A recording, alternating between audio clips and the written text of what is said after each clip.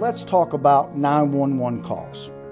If you're having a true medical emergency or any emergency, call 911. When calling 911, you may be asked additional questions by the dispatcher.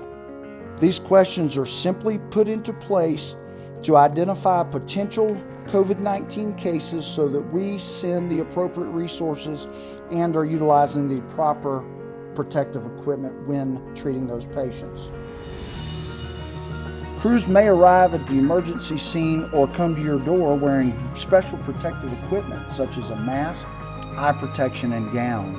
This is simply to protect you, the general public, the patient, and the members of public safety from potential exposure.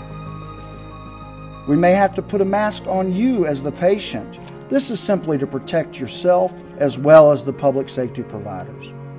After each call, our crews are doing special and very thorough disinfecting of all equipment that was used. And we will do our very best to keep everyone up to date.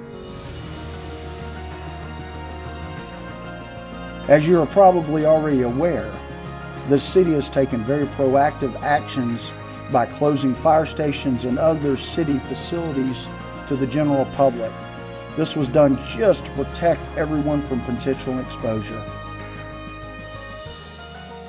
Finally, I encourage everybody to stay calm during these unusual times and follow the safety messages that are being distributed across the variety of sources to include the Centers for Disease Control and the Department of Public Health.